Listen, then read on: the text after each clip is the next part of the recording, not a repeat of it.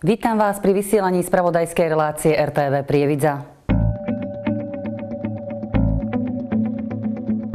Kompenzácia pre baníkov. Rozoberali problémy obyvateľov. Pokuta mesto neminie. Telocvičňa bude vynovená. Skontrolovali stromy v Handparku. Budúcnosť rómskej osady. Zmiernenie sociálnych dopadov a odškodnenie za stratu zamestnania z dôvodu útlmu baníctva. To je cieľom kompenzačných príspevkov pre baníkov. Návrh zákona o kompenzačných príspevkoch baníkom schválila Národná rada v rámci 51. schôdze.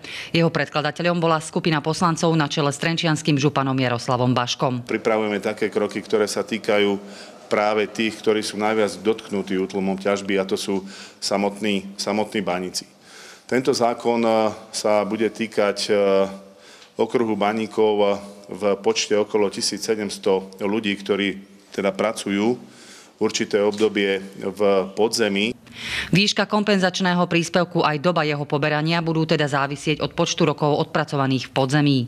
To minimum je teda tých 200 eur po dobu 12 mesiacov a to maximum je 84 mesiacov 816 maximálne mesačne. Ale to sú ľudia fakt, ktorí ťažko si nájdú platy na trhu práce. Sú to ľudia, ktorí odpracovali pod zemi e, viac ako 30 rokov. Počas poberania kompenzačného príspevku budú baníci poistencami štátu, ktorý bude za nich odvádzať sociálne poistenie. V zákone e, sa bude tento kompenzačný príspevok e, každoročne valorizovať o životné minimum a baníci, ktorí takto prídu o prácu, e, tak budú môcť e, e, požadovať aj dávku v nezamestnanosti. A celý tento kompenzačný príspevok baníkom sa je braný a bude braný ako štátna sociálna dávka, čiže bude celá táto dávka, bude celý tento kompenzačný príspevok nezdanený. Naša filozofia celého toho zákona je to, že kompenzovať tú stratu na zárobku, ak dneska zoberieme, že zhruba podzemí je hrubá mzda okolo 1400 eur, takže tých 816, aj keď to bude valorizované e, čiastočne tak je, také dostačujúce, ale hlavne to ide o tých zamestnancov, že ten si už nenájde inú prácu zrejme. Tých, ktorí sú na 30 a viac rokov, je zhruba 240 a nebude to jednorázovo uvoľnenie zamestnancov, ale je to počas zhruba 10 rokov. Na tento kompenzačný príspevok budú mať len baníci tí, ktorí budú z titulu útlmového programu prepustení, ktorý pôjde sám svojvoľne alebo ako na toto nárok nebude mať. Celý ten objem finančných prostriedkov, a to je úplne pesimistický odhad, eh, je vypočítaný niekde cez 40 miliónov eur, ale až do roku 2033 a najväčší ten e, objem finančných prostriedkov alebo najväčšia tá záťaž na štátny rozpočet by mala byť v roku 2026, kedy by to malo byť niekde do 6 e, miliónov eur. Pomôcť má aj národný projekt rekvalifikácií. Financovaný bude z eurofondov a žiadateľom bude TSK, ktorý ho pripravuje v spolupráci s Ministerstvom práce, sociálnych vecí a rodiny. Partnermi projektu sú mestá Prievidza, Handlová a Nováky a akciová spoločnosť Hornonitianské bane Prievidza. Baník, ktorý bude chcieť e, pracovať e, alebo nezobere kompenzačný príspevok, bude chcieť sa uplatiť na trhu práce, tak bude 6 mesiacov naďalej zamestnancom e, Horonitrianských baní Prievidza s plným platom a počas týchto 6 mesiacov bude chodiť a zúčastňovať sa tento baník rôznych rekvalifikačných kurzov. Schválenie zákona o kompenzačnom príspevku baníkom a príprava národného projektu rekvalifikácií sú prvými konkrétnymi krokmi akčného plánu transformácie regiónu Horná Nitra. Je treba povedať, že už tento rok od nás odíde alebo už aj odišlo a do konca roku ešte odíde zhruba 400 zamestnancov, z toho už aj značná časť podzemia. Znižovanie stavu prebiehalo citlivo, to znamená, boli to všetko ľudia väčšinou, ktorí mali tesne pred dôchodkom, prípadne mali iné možnosti iného zamestnania. Dopady útlomu ťažby pre spoločnosť Hornonitianske bane Prievidza len v súvislosti s odstupným v najbližších 4 rokoch sú vyčíslené na 28 miliónov eur. Spoločnosť si tvorí vlastné rezervy. Pomôcť by mala aj Európska únia. Toto poníma rozhodnutia rady, ktoré tu funguje už od roku 2010 a vlastne takýmto spôsobom sa to rieši v rámci celej Európskej únie. Európska únia hlavne po 21. roku by mala na toto prispieť a nejakým spôsobom refundovať e, vlastne štátu tieto výdavky a to sa týka aj samotného kompenzačného príspevku, kedy sa hovorí, že po 21. roku by mala značná časť týchto prostriedkov ísť z globalizačného fondu. Jednou z foriem transparentnosti prievickej samozprávy sú i verejné stretnutia s obyvateľmi. Zámerom je odprezentovať zrealizované investície v každom volebnom obvode a vypočuť si podnety a názory ľudí. Jesenné stretnutia s obyvateľmi začali v pondelok 21. októbra.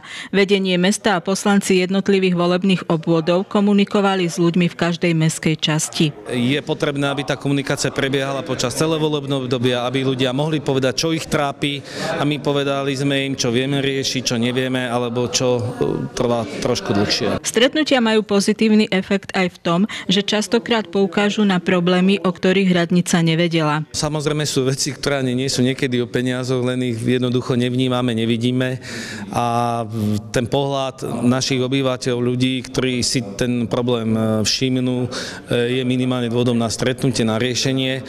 Niekedy riešenie nie je, niekedy je a niekedy, ako aj dnes odznelo na tomto stretnutí, že možno vozidlá, ktoré stoja na ceste, sú aj určitou prirodzenou prekážkou na obmedzenie rýchlosti vozidiel a tým pádom nerozhovanie chodcov. Stretnutie, ktoré sme navštívili s kamerou, bolo v Necpaloch. Obyvatelia poukázali okrem iného na rýchlu jazdu niektorých vodičov aut po uliciach na Záhumni a Snežienkovej a žiadali tento stav riešiť buď spomalovačmi alebo obmedzením rýchlosti, ale aj vybudovaním priechodu pre chodcov. Problémom v tejto meskej časti sú tiež niektoré chodníky a cesty, ktoré potrebujú rekonštrukciu. Obyvatelia tiež poukázali na zlý stav nadchodu pre peších nad železnicou, žiadajú zriadenie pobočky pošty v Necpaloch, opilenie alebo úplné odstránenie niektorých stromov, ale i rozšírenie centrálnej meskej parkovacej zóny. Zaujímali sa o stav budovania obchvatu Prievidze aj rekonštrukciu cesty 1 lomeno 64. Ste spokojní s tým, aké ste dostali odpovede na vaše otázky? V plnej miere. Dozvedel som sa to, čo som chcel vedieť, že čo v najbližšom období nás ako obyvateľov mesta a v tejto časti čaká. Záujem o veci verejné je u obyvateľov rozdielny podľa mestských častí. V niektorých príde na stretnutie viac ľudí, v iných je účasť veľmi nízka. Je to také individuálne, nezodznelo práve, že by bolo vhodné ešte intenzívnejšie spropagovať pre tie stretnutia. Takže napríklad, čo sme boli na sídlisku Píly, bolo ďaleko viac ľudí, v meste na základnej škole bolo čosi menej, ale myslím, že ten záujem je, častokrát chodia tí istí ľudia. Možnosti na komunikáciu komunikáciu so samozprávou majú obyvatelia mesta viac. Je to napríklad odkaz pre starostu, zasadnutia výborov volebných obvodov. Verejné sú aj rokovania Mestskej rady, komisí a zastupiteľstva.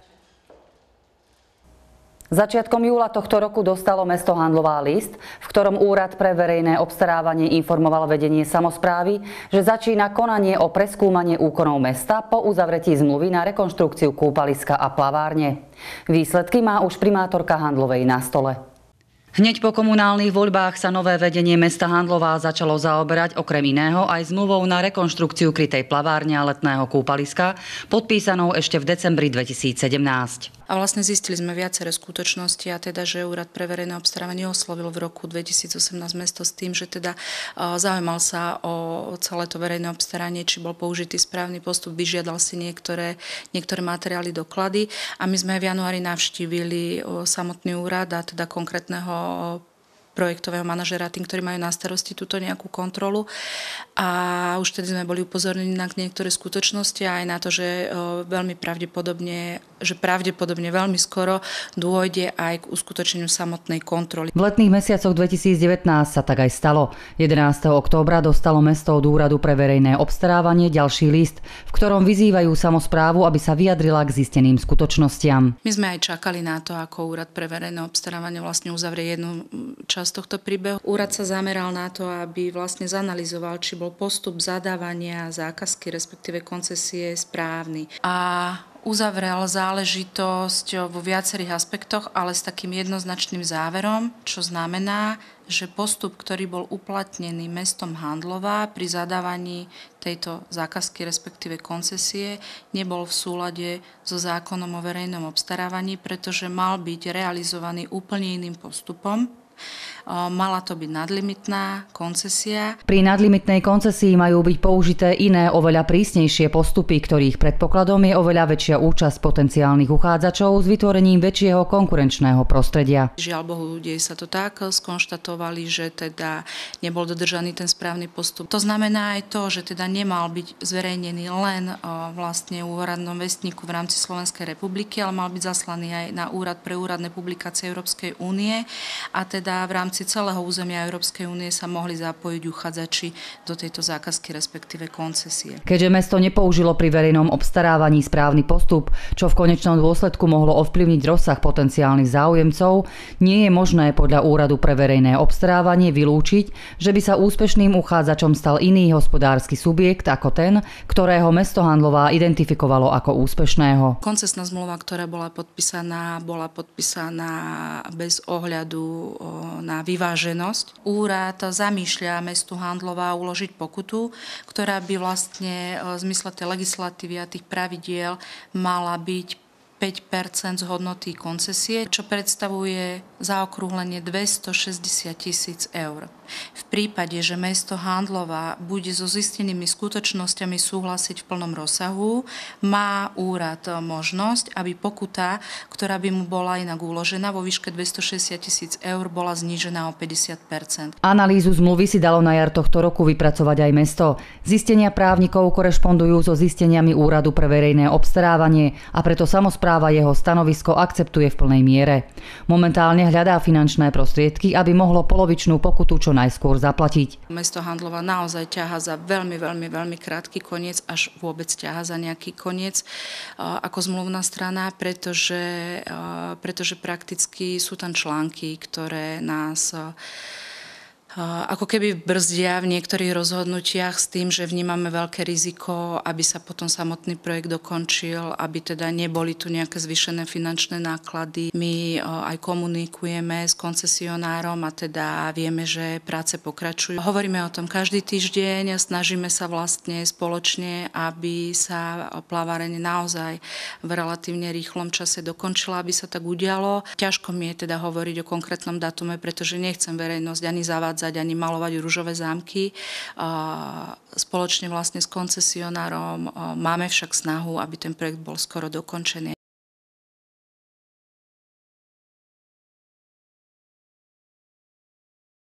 Investície do prívických základných škôl, ktorých zriadovateľom je mesto, pokračujú aj v tomto období. Radnica podpísala zmluvu s dodávateľom rekonštrukcie telocvične v hlavnej budove základnej školy Sama Chalupku.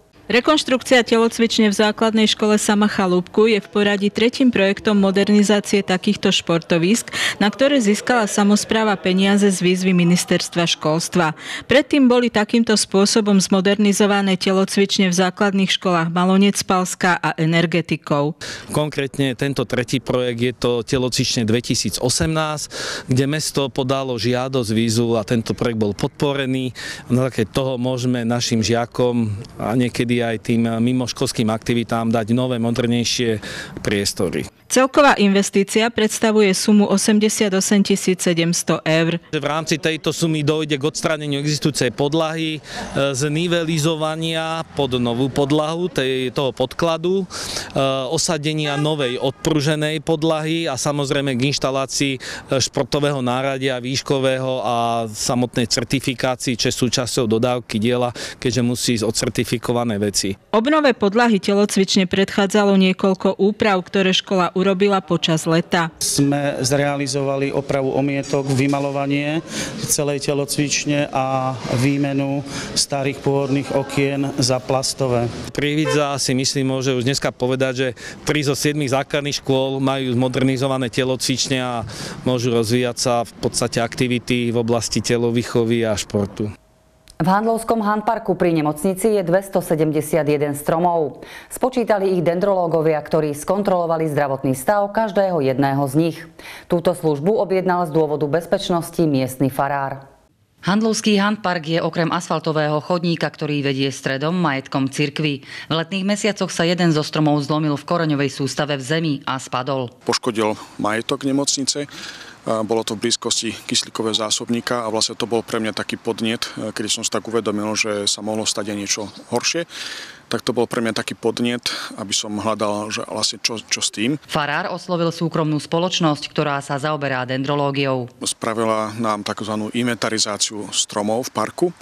To znamená, že prešli strom po strome, napočítali, je tu 271 stromov a z toho zistili, že 27 stromov je vážne poškodených. Buď sú hnilé, alebo sú úplne vyschnuté a to znamená, že hrozí, uh, hrozí že budú znova padnú.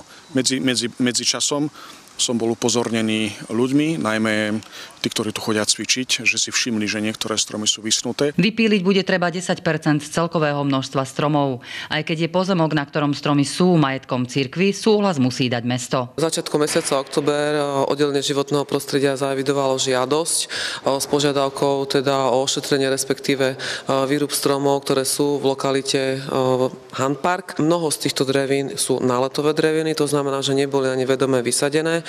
No ale na základe teda vlastne takéhoto posúdenia aj zo, z FARI, ktorý si dal urobiť dendrologickú štúdiu samostatnú. Mesto Handlova prijalo takúto žiadosť o ošetrenie, respektíve výrub drevín v tejto lokalite s tým, že v zákonnej lehote bol tento oznam alebo informácia o prijati takejto žiadosti vyvesený na úradnej tabuli a zároveň aj na internetovej stránke mesta. Okrem označenia stromov, ktoré sú vyschnuté alebo choré, vypracuje dendrológ aj nákres so všetkými stromami. Kde budú zaznačené všetky stromy a kde bude aj vyznačené alebo odporúčané, čo, čo ešte treba urobiť nielen teda e, odstrániť tie poškodené, ale samozrejme ošetriť, ktoré, ktoré treba ošetriť. Hoci teda park patrí farnosti Handlova, e, je, je otvorený pre verejnosť, chodí tu, chodia tu ľudia, chodia tu mladí cvičiť, chodia sa tu ľudia prechádzať, chodia si tu oddychnúť chodia tu mamičky s deťmi a bol by som veľmi nerád, keby sa stalo e, nejaké nešťastie. Prvé indície v podstate aj po nahľadnutí do celého spisu hovoria o tom, že e, zhruba približne 30 stromov je vo veľmi zlom e, svojom zdravotnom stave takže predpokladáme, že dôjde k ich výrubu, ale čo sa týka samotného výkonu týchto činností, malo by to tak byť momentálne teraz, keďže máme vegetačné obdobie, to znamená, že do konca tohto roka. Handlovská fara je pripravená vysadiť za vypílené stromy náhradné dreviny. Samozrejme to tiež už aj po dohode aj s mestom a aj, aj vlastne s tým dendrologom, ktorý, ktorý vlastne robil ten prieskum, aby nám poradil, že či treba tu robiť výsadbu, lebo treba predsa len e, treba dávať pozor, že stromy vyrastú a aby si nejako vlastne nerastli jeden do druhého, aby nespôsobili budúcnosti zase nejaké iné ťažkosti. Takže sme ochotní, ja som teda otvorený pre takúto možnosť, aj s ňou rátam. Sociálne oddelenie Mestského úradu v Handlovej začalo pracovať na koncepcii s názvom Budúcnosť rómskej osady. Na pomoci prizvalo zástupcov samozprávy, vedúcich oddelení Mestského úradu, riaditeľov mestských organizácií, poslancov a mestskú políciu. Prvé pracovné stretnutie k budúcnosti rómskej osady bolo v útorok 22. októbra na pôde Mestského úradu. Toto stretnutie sa deje z jedného veľmi dôležitého dôvodu a to je vlastne nutnosť riešiť stav banickej kolónii, ktorá je vlastne aj oficiálne zaradená v atlase rómskych komunít ako rómska osada. Samozrejme žijú tam aj nerómovia, aj rómovia, ale to, prečo sme sa to teda rozhodli riešiť, je situácia, kedy sa na nás jednak obracajú s rôznymi podnetmi ľudia, ktorí tam žijú, ale aj ľudia, ktorí žijú na okolí. Najvypuklejšími problémami sú v banickej kolónii bývanie a infraštruktúra. Väčšina domov, v ktorých tu ľudia žijú, má rodné listy z roku 1920. Mestský bytový podnik investuje do kolónie priemerne 80 tisíc eur ročne a to len na riešenie havarijných stavov.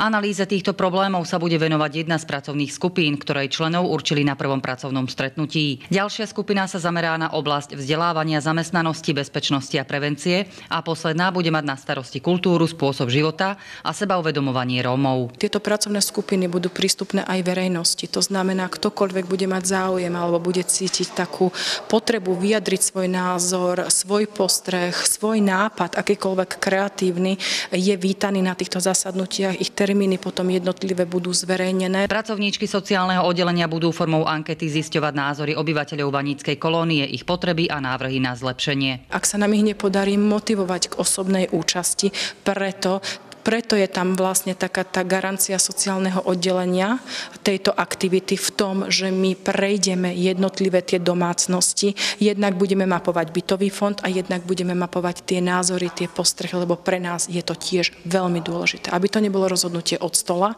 možno to bude nepopulárne opatrenie, ktoré potom poslanecký zbor príjme, ale jednoducho bude tam zohľadnené všetky možné aspekty a všetky možné dostupné informácie. Výsledkom pracovných skupín by v máji 2020 mala byť dopodrobná vypracovaná koncepcia budúcnosti rómskej osady.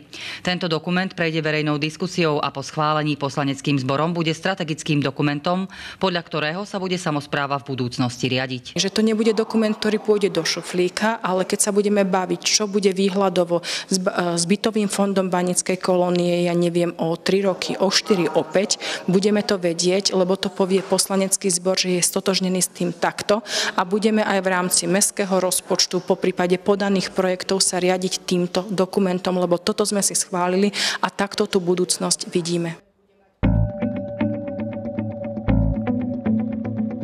Za spravodlivé Slovensko. Nestlé otvorilo dvere pre mladých. Poctivé vína v Bojniciach. Obhájili titul zelenej školy. V Bojniciach bolo 80 sábov. Prievidza sa v piatok 18. októbra pridala k ďalším slovenským i zahraničným mestám, v ktorých boli protesty za spravodlivé Slovensko. Na námestie Slobody prišlo viac ako 200 ľudí. Zhromaždenie zorganizovala iniciatíva Zaslušné Slovensko a bolo reakciou na aktuálne dianie v spoločnosti. Nahrávka kauzy Gorila zverejnená po 14 rokoch a záznam údajne z rozhovoru medzi Marianom Kočnerom a prokurátorom Dobroslavom Trnkom podnietili ľudí k tomu, aby znovu vyšli na námestia. Časti z týchto zvukových záznamov odzneli aj na Prievickom. Myslím, že bolo nutné sa ozvať. Ako je mi jasné, že e, ľudia sú už ako keby možno až presítení tými negatívnymi správami, ale tu ide o také jednoduché vyjadrenie občianského postoja, že s týmto sa nedá súhlasiť a to sa nám nepáči. Požiadavkou organizátorov protestuje dôsledné vyšetrenie kauz a dôveryhodná vláda. Odísť z funkcie by okrem Roberta Fica mali aj prokurátori Dobroslav Trnka a Dušan Kováčik, ako aj súdkynia Monika Jankovská.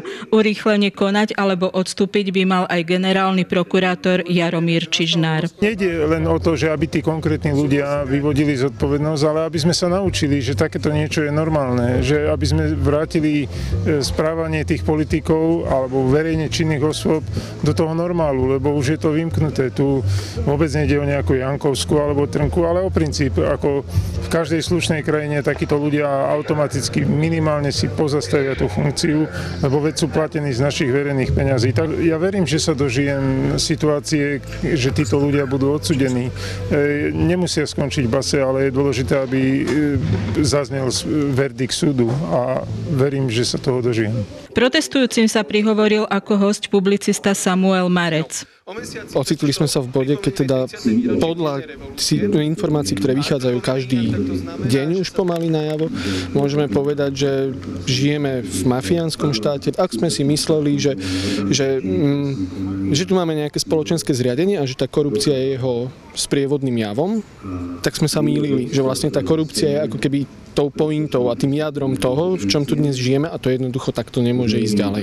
Iniciatíva za slušné Slovensko zorganizovala už 13. protest od zavraždenia Jana Kuciaka a Martiny Kušnírovej. V Prievidzi ani na jednom nechýbala Katarína Bubnášová. Lebo si myslím, že treba. Že treba ukázať, že ľuďom nie sú isté veci ľahostajné. No preto tu stojím a budem stať, aj keď prší, aj keď slnko svieti, aj, aj keď sneží, lebo stále je prečo. My nemôžeme len tak hodiť rukou, že nič sa nezmení.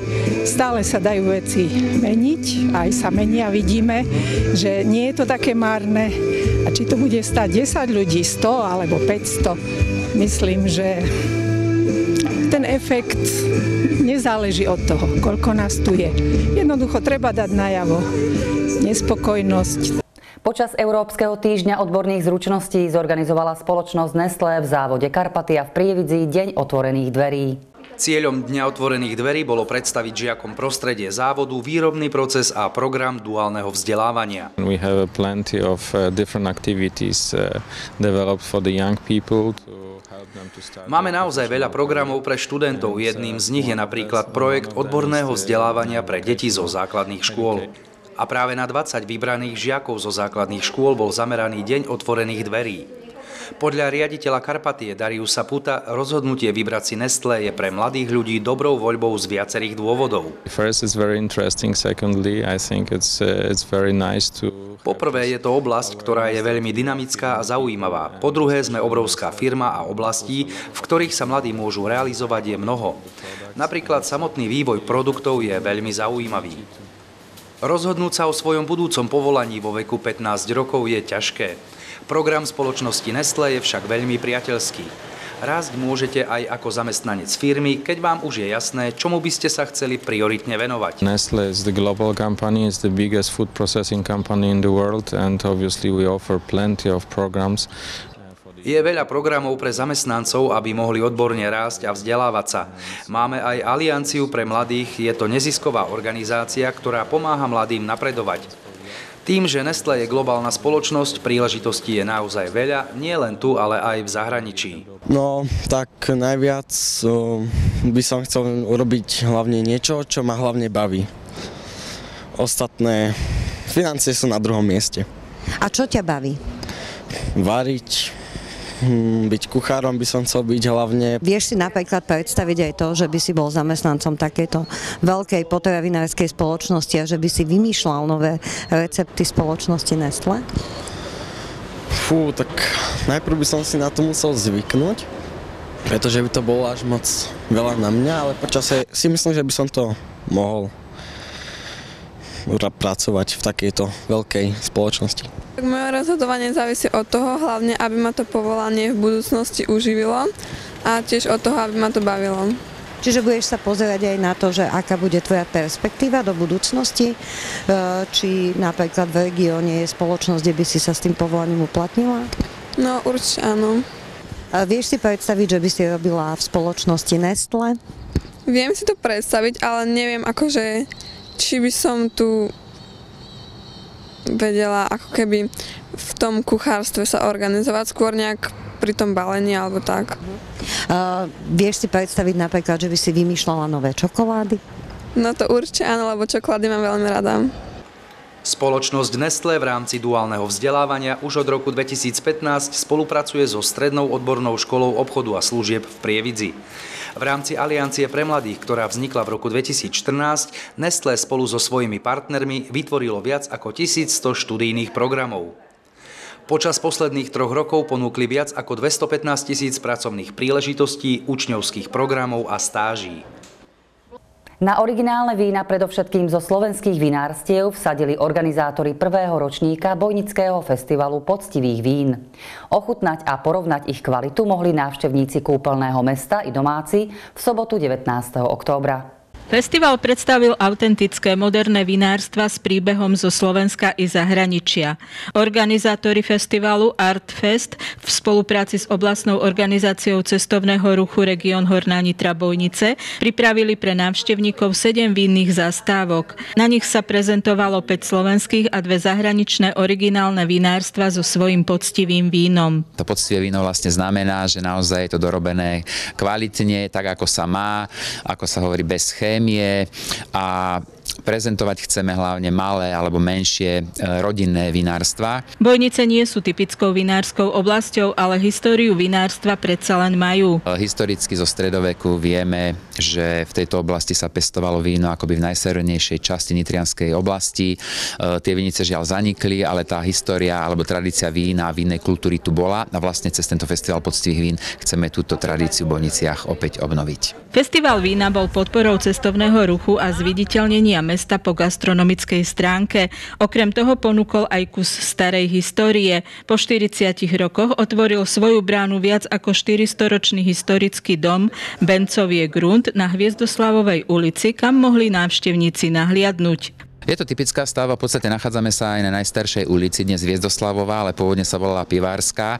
Bola to, historické prámene dokladajú, že je to najstaršia ulica v Bojniciach, akoby tá spojnica Prievidze a Bojnického zámku, s tým, že je to aj krásna stará pivnica v tomto dome. Eh, je to typické, typ, typický dom, samozrejme prešiel za históriu určitými úpravami, ale stále si zachová to svoje čaro a dá sa povedať, že to, to, to genius locituje tých starých bojníc. Počas vinného festivalu bol Bencovie grunt úvodnou stanicou stanicou. Jeho oficiálne sprístupnenie verejnosti je naplánované na budúci rok v lete. Základná škola na Mierovom námestí v Handlovej obhájila titul zelenej školy, ktorý poprvýkrát získala pred dvomi rokmi. Koncom minulého týždňa prišli do školy gratulanti, zástupcovia samozprávy. Zelená škola je najväčší environmentálny program na svete. Zapojených je doň viac ako 52 tisíc škôl zo všetkých kontinentov. Na Slovensku s ním v roku 2004 začalo Centrum environmentálnej a etickej výchovy Živica. Vtedy sa do neho zapojilo 8 slovenských škôl. Tento rok ich bolo 300. Vlajku a certifikát environmentálneho vzdelávacieho programu Zelená škola získalo tento rok 99 slovenských škôl. Medzi nimi aj základná škola na Mierovom námestí v Handlovej. Je to pre nás veľké pozbudenie do ďalšej práce pretože to, čo sme robili pred dvomi rokmi a robíme teraz, tak vlastne vidíme, že to má nejaký význam. A tým, že sme boli ocenení, tak znamená, že túto prácu robíme dobre. Znamená to pre nás aj to, že vlastne tí žiaci sú motivovaní a vidíme, že ich to baví, tak ako povedala e, naša žiačka Dorotka Bielokostovská, ktorá hovorila, že nás bolo prvý dva roky menej, teraz je ich už viacej, takže vidieť, že vlastne tá environmentálna výchova, tá práca v tom projekte Zelená škola má určite v tejto spoločnosti spoločnosti veľký význam. Slávnostnej certifikácie 9. októbra 2019 v divadle Arena v Bratislave sa zúčastnili koordinátorka Zelenej školy Lenka Poláková spolu s členkou kolégia žiačkou 9. B triedy Dorotou Bielokostolskou a riaditeľkou školy Ivetou Jakubovou. Na dosiahnutom úspechu školy sa podielali žiaci, ktorí pomáhali tvoriť a plniť environmentálne aktivity školy. Petra Klátiková, Ema Škreková, Martina Švihranová, Rebeka Cholujová, Diana Kijaková, Eliška Gatialová, Zuzana Kechanová, Paulína Vicianová a Dorota Bielokostolská. Naša škola si vybrala tému odpad a vybrali sme si ju najmä preto, pretože naša škola už mala v každej triede koše a boli to na koše na plast, papier a komunálny odpad. To bolo takým jedným našim plusom a ak si už pamätám od prvého stupňa, my sme zbierali baterky a papiere, čiže to si myslím, že bolo ešte ďalším plusom a nemyslím, že to robili na každých školách. Ja som si myslela, že to bude ťažšie, ale práve, že myslím, že všetci sme sa tak zapili a všet, všetkých nás to tak bavilo a nerobili sme to tak, že musíme to robiť, ale také to bolo zaujímavé pre každého. Aj naša trieda sa zapojila, čo som nečakala. Okrem triedenia odpadu v triedach prispela škola do environmentálnej výchovy svojich žiakov aj hmyzným hotelom a bylinkovým záhonom. Všetky tieto aktivity sú zamerané hlavne na zníženie negatívneho vplyvu školy na životné prostredie. Obhajenie certifikátu a titul Zelená škola je vlastne obrovským ocenením aj pre nás ako pre mesto, pretože ako dobre viete, to, čo sa deje momentálne v našej krajine a v spoločnosti, to, že hovoríme už oveľa vážnejšie o odpade, o environmentálnych témach, tak je dôležité, aby sa tak dialo vlastne aj pričinením každého z nás. O to úžasnejšie je, že sa tomu venujú pedagógovia, že to baví aj deti, že to robia spontánne a že ich táto téma oslovuje. Uvedomujú si, že táto naša planéta tu nie je navždy a na to, aby ju vedeli ochrániť a dlhodobo udržať zdravú, potrebujeme vlastne hospodáriť s našimi prírodnými zdrojmi inak. V sobotu 19. októbra bolo pod Bojnickým zámkom 80 sábov. Organizátori Saab Session Slovakia si kúpeľné mesto vybrali pre 8. ročník medzinárodného zrazu majiteľov týchto známych švédskych automobilov. Na zraz prišli majiteľia sábov z rôznych kútov Európy. Zaparkované autá ponúkli prierez produkcie známej švedskej automobilky, ktorá už dnes ale auta nevyrába. Je tu vlastne 80 aut z 10 krajín Európy. Oči okolo idúcich určite priťahoval športový model Saab Sonet a to nie len svojou červenou farbou. Bolo to auto pre športovo ladených ľudí, ale je fakt, že trošku ťažšie sa v tom šoferuje, lebo je to predsa len nie na dlhé trasy. Ale obdivujem, že prišli práve Pražiaci na tom a absolvovali tú cestu na tom aute po vlastnej osi. Toto auto tak trochu pripomínalo to lietajúce zo známeho filmu o Fantomasovi. Nie, nie, to nie je to, čo lietalo, aj keď Saab vyšiel vlastne z uh, leteckej firmy a preto vlastne aj to logo, ktoré má, ktoré sa nám podarilo takto štilizovať do čičmianského vzoru, lebo čičmiance nevedia, čičmančania nevedia, že toto vlastne malo byť na tých chatách namalované. S čičmianským vzorom je to iba recesia. Pravdou ale je, že napríklad model 96 švédskej automobilky vlastnila aj slovenská hokejová legenda Jozef Golonka. Joško Golonka je tiež náš priateľ a chodí na naše zrazy a tentokrát tu nie je a je veľký fanúšik tejto značky a myslím, že nedá dopustiť na ňu. Nielen Golonkovi, ale i mnohým iným Slovákom táto značka učarovala natoľko, že by ju nevymenili za žiadnu inú. Zhruba do 9 rokov mám už Saba. Prečo? Je to taká nezvyčajná značka, veľa ľudí sa toho na Slovensku a celkovo aj v blízkom okolí bojí, pretože to nepoznajú. Ale popravde je to tak, že keď ho necháte s kľúčami zapalovaní na, na parkovisku, tak to nikto neukradne, lebo to nikto nepozná. Ja som sa proste po prvom pohľade do toho auta zamiloval. Toto vozidlo má nájazd niečo cez 360 tisíc kilometrov a stále to ide stále to ide a ešte to pôjde a prežije to všetky nové auta, ktoré sú momentálne dnes vyrobené. Je veľmi spolahlivé. S myšlienkou zorganizovať v okresnom meste šachový turnaj pre školákov prišiel šachový klub Prievidza, ktorý poskytol aj šachovnice. Lebo veríme, že Prievidzi a aj na Slovensku sú múdre deti, ktoré budeme potrebovať v budúcnosti, ak chceme budovať tie tzv. múdre mesta, o ktorých sa veľa rozpráva. Zámerom je, aby sa deti zoznámili s touto kráľovskou hrou, naučili sa koncentrovať, rozmýšľať. Nie je cieľom vychovať šachových veľmajstrov, ale aby sa zlepšili vo vyučovaní hlavne. To je našim cieľom. Tento šachový turnaj mal oproti bežným hneď niekoľko odlišností. Kým pri bežných súťažiach v šachu je ticho, tu bolo deti počuť už zvonku a vnútri bolo ako v úli. Iné bolo aj hodnotenie. Deti hrali v dvoch vekových kategóriách a okrem výťazov jednotlivcov sa hodnotil aj celkový výkon školy. Škola, ktorá pošle viac detí na tú súťaž, má väčšiu šancu získať e, prvé miesto, alebo druhé miesto, alebo tretie miesto, lebo spočítavajú sa e, body všetkých, všetkých týchto našich detičiek. Hráme 5 kôl, ako každý, a vždy sa hrajú hráči, ktorí majú rovnaký počet bodov medzi sebou. Čiže keď sa niekomu darí stále vyhrávať, tak vždy hrá s tými supermi, ktorí majú takisto len výhry za sebou. Je to skvelá hra a teraz toto, lebo všetkých nás to baví a musíme pri tom rozmýšľať, lebo teraz, keď napríklad je takto a je takto, tak musíte takto vybiť, lebo to je, roz, to je logika. Napr- potom je vybitý... Na... A čo je na tom najťažšie? Vyhrať. A super je aký? Ťažký, ľahký? Podľa mňa je taký priemerný. No, hrajú tak, ako vedia. Niektorí lepšie, niektorí horšie, ale snažia sa všetci. Ale sú tu veľ- niektoré veľmi šikovné deti. Musíš veľa pri tom rozmýšľať? Áno. Odkedy hráš šachy? Mm, už keď som bol ma, tak som hrával s dedom. E, ťažké je vyhrať, bo sú ťažkí superovia. Aj si sa pripravovala? Áno. Mm, hrala som doma za synom šach. A odkedy hrávaš šach? Od minulého týždňa. Čo je na tom šachu také zaujímavé? Prečo ho hráš? Um, hrávam ho kvôli tomu, že logicky rozmýšľať ku tomu musím.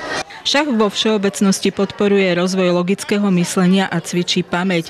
Má v sebe prvky umenia, vedy a športu. Na toto vsadilo i mesto Prievidza, ktoré turnaj uvítalo a podporilo. Chceme dať priestor na našich školách múdrym deťom. Ten šach dáva priestor na rozvoj múdrych detí a vôbec tie deti, ktoré sa chcú posúvať a vzdelávať, tak ten šach je naozaj na to najlepšia forma. V školskom roku 2019-2020 bude ešte jeden takýto šachový turnaj vo februári.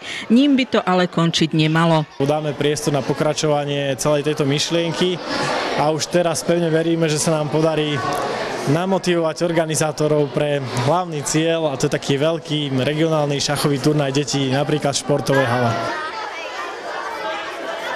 To je zo spravodajstva všetko. Vo vysielaní pokračujeme reláciou reportáž. Dovidenia.